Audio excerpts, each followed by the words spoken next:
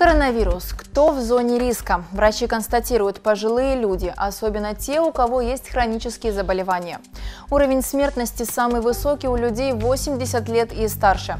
Следом идут те, кому от 60 до 80. Ниже уровень летального исхода у людей категории 50+. Накануне в Италии зафиксировали рекордное число смертей от коронавируса – 475.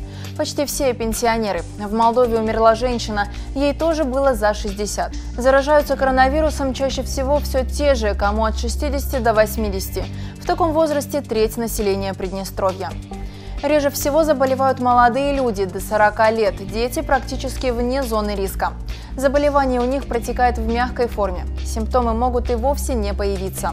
Чтобы не заболеть, чаще мойте руки, не прикасайтесь к лицу, избегайте мест скопления людей, соблюдайте дистанцию не менее метра друг от друга. Пожилым людям следует быть особенно осторожными и без особой необходимости не выходить из дома. Это советы врачей.